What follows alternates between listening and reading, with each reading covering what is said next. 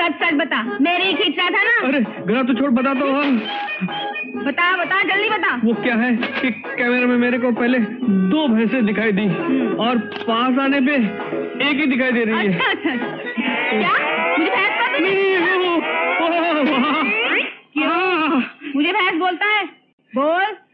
नहीं नहीं तू तो जीना तमान हेमा मालिनी राखी सब कुछ अच्छा। है लेकिन गला तो छोड़ो प्लीज़ तेरे बाप की कहीं क्या राशन की दुकान है क्या? नहीं तो वो तो हवेली में काम करते हैं। हवेली में? तो तू सुखलाल जी को जानती है? अरे वही तो मेरे बापू है। सुखलाल जी तेरे बापू है? हाँ। कहीं तुम्हारा नाम मैना तो नहीं? हाँ हाँ मैं मैना हूँ। मैना हूँ। और तुम? मैं तोताराम। हाय राम हाँ। तुम तोता मैं मैना जरा उठ जाओ तो आए चाइना हाँ, हाँ, हाँ। प्लीज़ ओ, ओ मेरी टांगे बच गया। नहीं मैं भारी तो नहीं। नहीं नहीं आप भारी हैं और मैं आभारी हूँ। मेरी फ़ोटो नहीं लोगे? ज़रूर लूँगा। जरा सांस ले लूँ और हाथ ठीक कर लूँ। जरा हंसिए।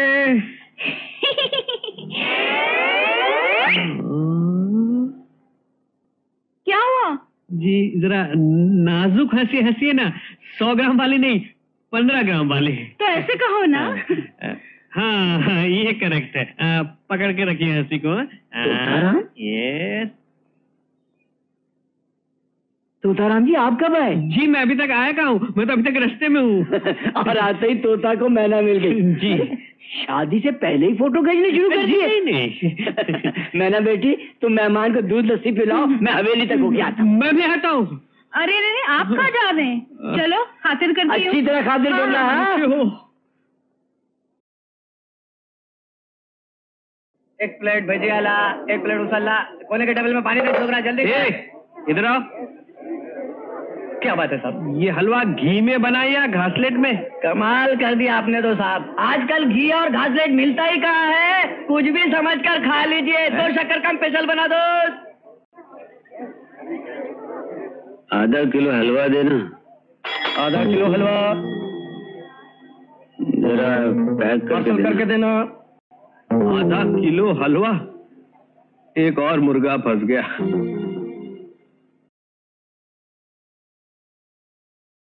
पिताजी ऐसी आपकी कृपा होती रहे और मैं माता जी की सेवा करता रहूँ। अरे आप कब आए लल्ला जी? अरे माता ये क्या कर रहे हैं? आपके आशीर्वाद से सोप फैक्ट्री के लिए ज़मीन की मंजूरी मिल गई। अच्छा अच्छा। इसलिए सत्यनारायण की कथा भी करवा डाली। बहुत अच्छा। भगवान के काम में देर करना तो अच्छा हाँ, नहीं हाँ। प्रसाद लीजिए। लल्ला जी आपके जैसा दामाद तो बड़े भाग्य से मिलता है। अरे अरे ये क्या कर रहे हैं? शीला जी सत्यनारायण का प्रसाद लो।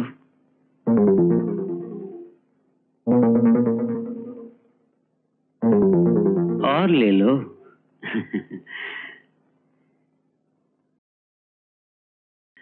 अरे सुखलाल प्रसाद तुम भी लो लोगों को बांट दो। लाइए लाइए जमाई बाबू ये तो आपने बहुत अच्छा काम अरे किया। चलता है। क्या है माता जी हाँ, मन्नत मांगी थी हाँ, कि ये काम पूरा हो जाए हाँ। तो देवी को सोने के कंगन चढ़ाऊँगा। अच्छा अच्छा। काम तो पूरा हो गया अब ये कहाँ चले गए? अरे शोभा शोभा। आपका भाई? वो छोड़ जरा कंगन तो उतार के दे ये क्या लल्ला जी? मैके में माँ के सामने उसकी बेटी के कंगन उतरवाएँगे। नहीं माता जी चढ़ावा देना तो पड़ेगा ही चलो। अरे तू ठहर। सिल्ली अरे वाह सिल्ली। की माँ जी इधर आ। ये कंगन तो उतार। जी। देख क्या रही है। कंगन उतार के लल्ला जी को दे।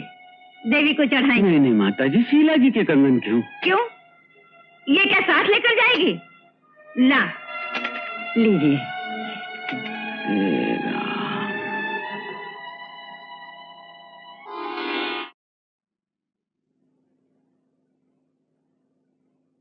कोई है?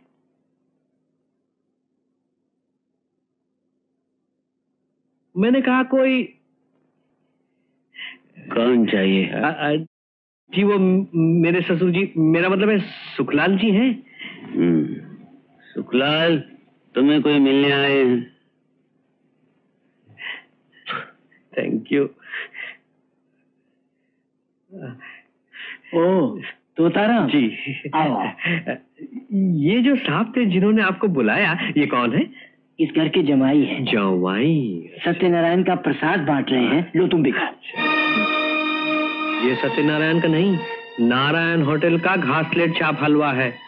मैंने अपनी आँखों से इस सज्जन को ये हलवा खरीदते देखा है। बड़ा बदमाश जवाई है। छी छी छी छी छी। हद हो गई। इसका मतलब ये सारा प्रसाद का नाटक बहुरानी के कंगन उतरवाने के लिए था। इस तरह तो ये सारा घर लूट लेगा। नहीं नहीं। मुझे शहर जाकर प्रकाश बाबू को सब बताना होगा। सब बताना होगा। होटल के हलवे को सत्यनारायण का प्रसाद बोल के बांटा गया? छी छी छी। इतना ही नहीं। बहुरानी के हाथ की चूड़ियाँ उतरवा ली कहने लगे मन्नत मांगी है चढ़ावा देना है। ऐसी सास मिलने पर चूड़ियाँ क्या काका? वो तो घर भी बिकवा देगा। और हमारी माँ फिर भी नहीं समझेगी। ऐसे दामाद की तारीफ़ हो रही है। और घर के बहू बेटे को चैन की रोटी भी नसीब नहीं। बेचारी वीना को खेलने को खिलौना नहीं। और ये श्रीमान जब भी तशरीफ़ लाते हैं आठ दस हज़ार का माल लिए बगैर जाते ही नहीं। लेकिन तुम्हारे भैया और शीला बहन कुछ बोलते क्यों नहीं? दुर्गा तुम हमारे घर के बारे में कुछ नहीं जानती। हमारे पिताजी बड़े ही सूरमा आदमी थे लेकिन जो भी दबदबा था घर के बाहर। घर के अंदर माँ की हुकूमत चलती थी जहाँ बेचारे पिताजी कुछ नहीं कर सके। हाँ भैया भाभी की कौन सुनेगा? लेकिन अपने घर की ज़िम्मेदारी हमारी भी तो है। कैसा अपना घर? हाँ।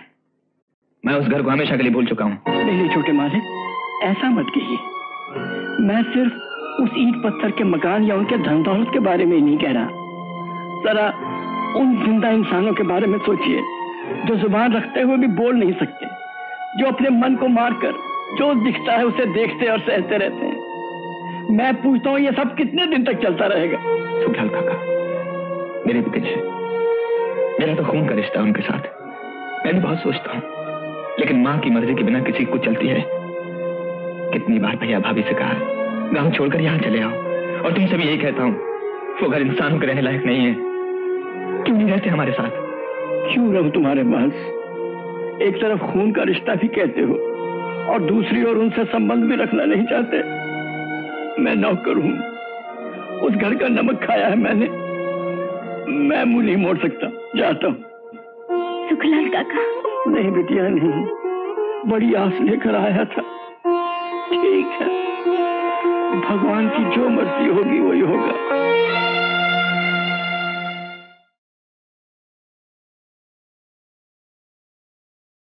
उन ज़िंदा इंसानों के बारे में सोचिए, जो ज़ुबान रखते हुए भी बोल नहीं सकते।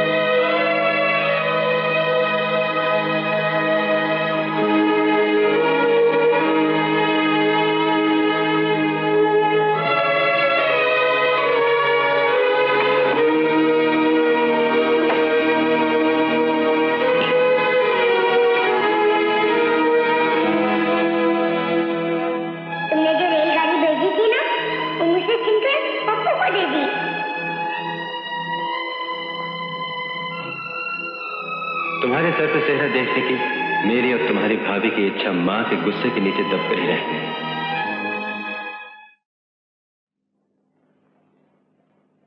दुर्गा उठ क्यों मुझे नींद नहीं आ रही। क्यों? क्या बात है? एक बात पूछूँ? हम्म पूछो। मेरी बात मानोगे? अरे बाबा कौन सी बात है जो नहीं मानी? बोलो क्या बात है? वचन दो। अ, दिया वचन। मैं अपने ससुराल जाना चाहती हूँ। क्या? ससुराल? होश में तो हो तुम? बिल्कुल होश में हूँ। अपना इतना बड़ा घर है परिवार है फिर हम पराये लोगों की तरह उनसे अलग क्यों रहे? अचानक आज तुम्हारे मन में ये पागलपन कैसे घुसा अचानक नहीं। शादी से पहले ही मैंने सोच लिया था। शादी से पहले? यानी कि तुम अपने पिता के अपमान का बदला लेना चाहती हो? नहीं नहीं। ये बात नहीं है। तो, तो फिर वहाँ जाने की जिद क्यों? तुम समझते क्यों नहीं? सुखलाल की आँखों में छलकते हुए आँसू बार बार कह रहे थे कि उन जीते जागते इंसानों के बारे में सोचो। तुम्हारे भैया भाभी और वीना की हालत सोच सोच के मेरे मन में हलचल मच रही है। हम आज ज़रूर जाएँगे प्लीज़। लेकिन ये सोच लो मेरी माँ तुम्हें घर के अंदर कदम भी नहीं रखने देगी। मुझे विश्वास है मुझे उनकी ममता और आशीर्वाद ज़रूर मिलेगा। ममता और आशीर्वाद मेरी माँ से? कुछ भी हो हम जाएँगे। तुमने मुझे वचन दिया है। ठीक है। तो हम रिटर्न टिकट लेकर चलेंगे। क्योंकि हमें हवेली की चौखट से ही वापस लौटना पड़ेगा। हाँ? अभी चले? कल। कल? हाँ। तो ठीक है। अभी सोते हैं।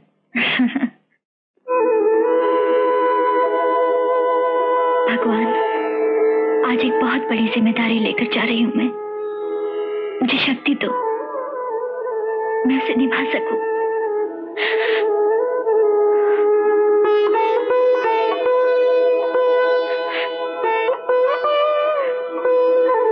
पापा।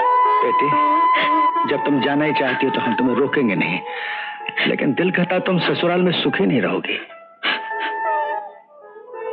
पापा शादी के बाद लड़की का घर ससुराल होता है। मुझे आशीर्वाद दो कि मैं उस घर को सुखी बना सकूँ। बेटे मैं तुम्हें यही आशीर्वाद दूँगा कि अपनी सास की कठोरता को प्यार और ममता में बदल देने में सफल हो।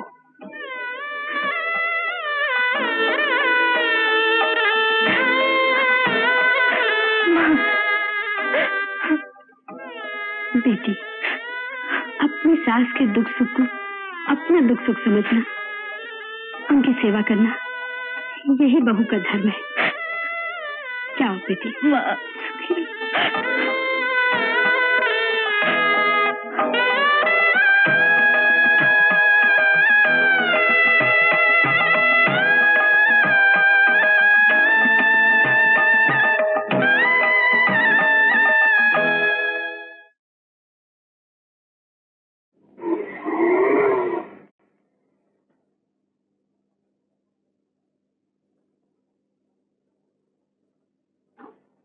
भाभी प्रकाश तुम? नमस्ते। अंदर मत आना देवर जी। बाहर ही ठहरना। अरे पर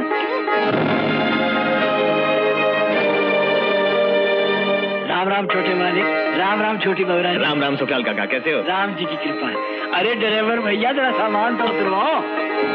जाओ जाओ जल्दी जाओ।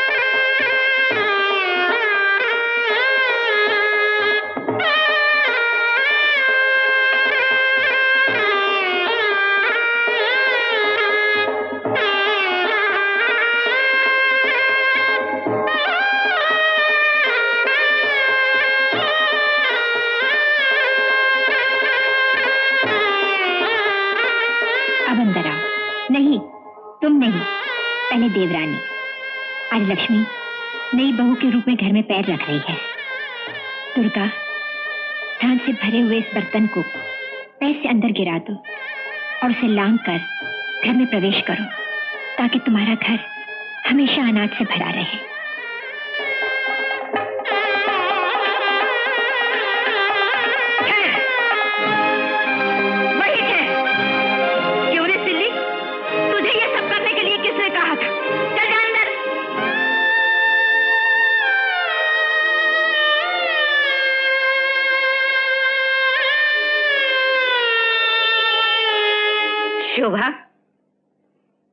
ये दरवाजे पर कौन पराए लोग आए हैं? पराए? पराए कोई नहीं है माँ। अपने ही है? शोभा कह दे उन्हें। मैं उन्हें नहीं पहचानती। दीदी उनसे कहो उनके छोटे बेटे आए हैं। उनके साथ उनकी धर्म पत्नी इस घर की बहू आई है। मेरा छोटा बेटा था। अब नहीं है। उम्र और रिश्ते को शोभा देने वाली बात मुँह से निकालिए माँ जी। सुना माँ? तुम्हें अकल सिखाने आई है। निकाल दे। निकाल दे इसे यहाँ से। बाप बड़े घमंड से कह के गया था कि मेरी बेटी तुम्हारे चौखटे पाँव रखने नहीं आएगी। फिर क्यों आई है? उन्होंने कहा होगा मैंने तो कुछ नहीं कहा। मैं इस घर की नई बहू हूँ। इस घर में प्रवेश करने आई हूँ और करके ही रहूँगी। दुर्गा बहुत तमाशा हो चुका। अब चलो यहाँ से। नहीं, मैं इस रस्म को पूरा करके अंदर जाऊँगी। चाहे कुछ भी हो जाए। अच्छा ये बात है। तो फिर मैं ही ठोकर मारती हूँ इस घर में आने की रस्म को।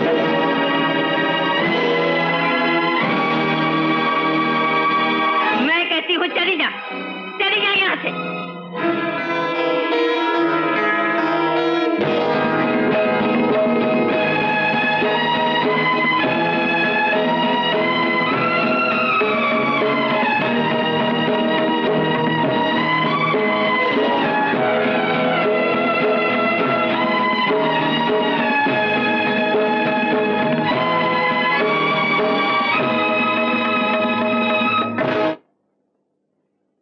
अपशगुन ना कीजिए माँ जी। लक्ष्मी का अपमान होता है। कुछ तो अपनी इज़्ज़त का ख्याल कीजिए। क्या कहा? मैं? मैं अपनी इज़्ज़त का ख्याल करूँ? चलती हो यहाँ से। नहीं माँ जी मैं आपकी बहू हूँ।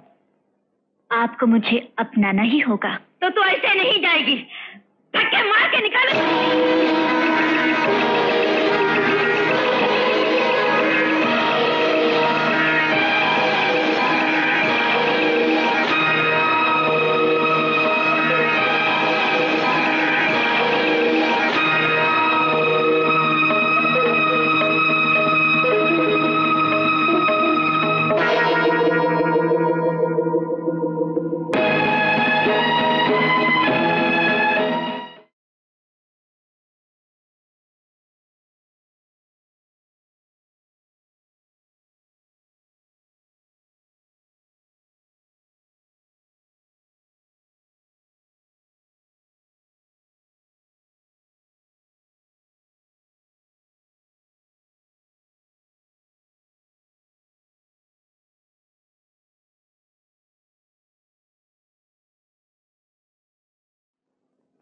माँ।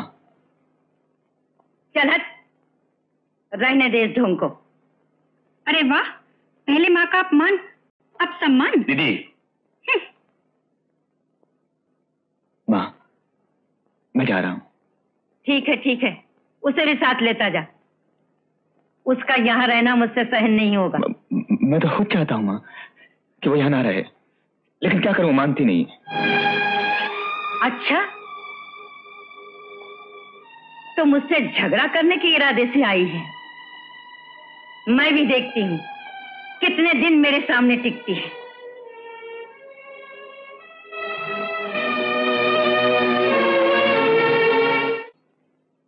अपना ख्याल रखना। दुर्गा मुझे तुम्हारी चिंता है। सोचता हूँ माँ के साथ तुम्हारी कैसे निभेगी। उसकी फ़िक्र मत करो मैं सब ठीक कर लूँगी। चिट्ठी लिखते रहना। हाँ।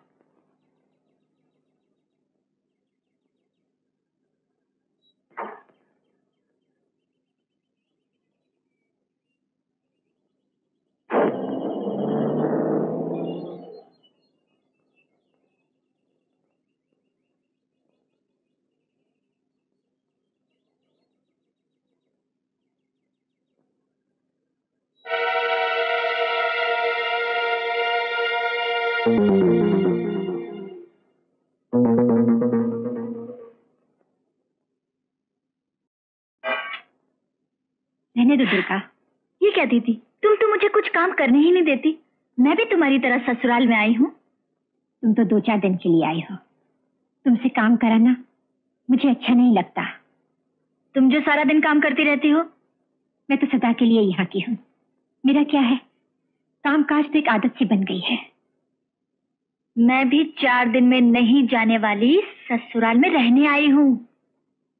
क्यों अपना सुखी जीवन? दुख में डाल रही हो। दुखों का सामना करने आई हूँ मैं। इस घर की घुटन में सांस लेती हुई अपनी बड़ी बहन का साथ देने। बहन, दुर्गा बड़े नसीब से मिलती है तुम जैसी बहन। इस चार दीवारी में तुम्हें साथ पाकर लगता है बहुत बड़ा सहारा मिल गया है। दीदी?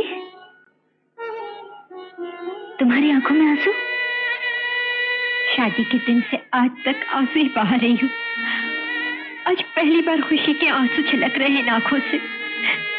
एक बात पूछूँ? पूछो। उनसे यहाँ के बारे में जानकर मैं ये सोच रही थी कि इतने दिनों से तुम सासू जी के जुल्म सहती रही हो। दबने पे तो चीटी भी काट खाती है। क्या मन नहीं है तुम्हारा? है।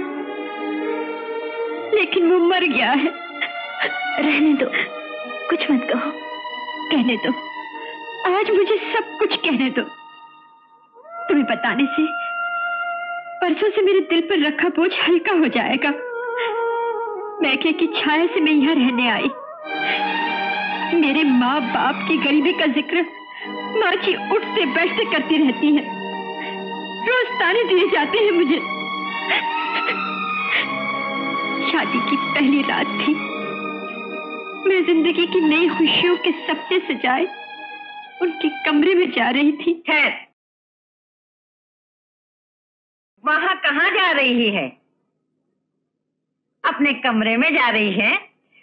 पहले ये तो बता तेरे माँ बाप दहेज के तीस हज़ार रुपए कब देंगे? मैं कैसे बताऊँ? पर उन्होंने कहा तो है दे देंगे। हाँ मगर कब? मरने के बाद कान खोलकर सुन ले। जब तक दहेज के तीस हज़ार रुपए नहीं आते तो मैं के नहीं जा सकती। उनके मरने पर भी नहीं।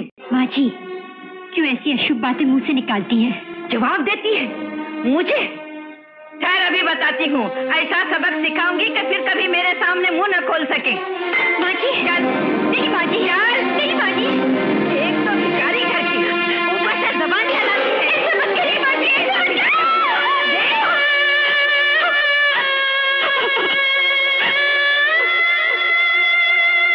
सोच समझ कर पाँव पे दाग दिया है, ताकि तुझे ज़िंदगी के हर कदम पर याद रहे कि मेरे सामने मुँह खोलने का क्या नतीजा होता है। जा, अब कर अपनी गृहस्थी की शुरुआत।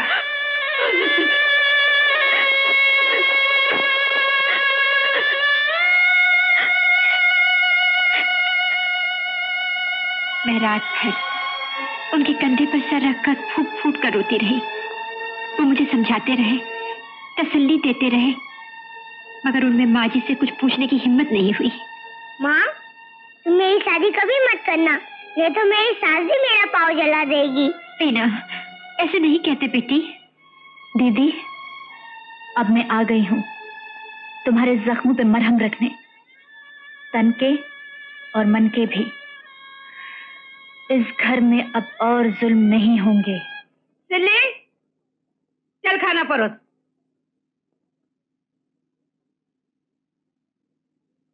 बैठिए माँ जी मैं खाना परोसती हूँ।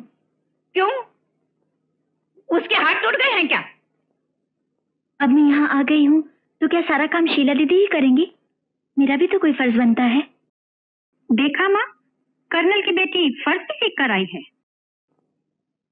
नहीं नहीं आई है ना एक दो दिन नाटक तो करेगी ही। मुँह क्या देख रही है? चल जल्दी खाना परोस भूख लगी है। तोबा क्या खाना है? दूसरी आई है तो पहली से भी गई गुजरी। अच्छा खाना हमारे नसीब में ही नहीं है। खा बेटी। अरे अरे डाल डाल ना। ये दाल बनाई है पानी भर दिया है। कोई जायका ही नहीं। और और ये भाजी, आधा तो नमक झोंक दिया इसमें। कोई जानवर भी मुँह न लगाए इस खाने को।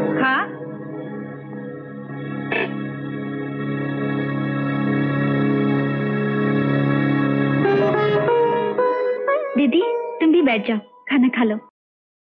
नहीं नहीं मैं बाद में खा लूँगी। बाद में क्यों? मैं परोस रही हूँ। बैठो। ये हमारे साथ बैठ के खाएगी। क्यों नहीं? ये घर की बड़ी बहू है। बैठो दीदी। दिल्ली उठ वहाँ से। नहीं ये नहीं उठेंगी। तुम खाओ दीदी फ़िक्र मत करो। क्या कहा?